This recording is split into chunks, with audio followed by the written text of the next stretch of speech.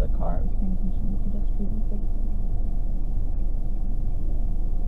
Um, that's not how that works.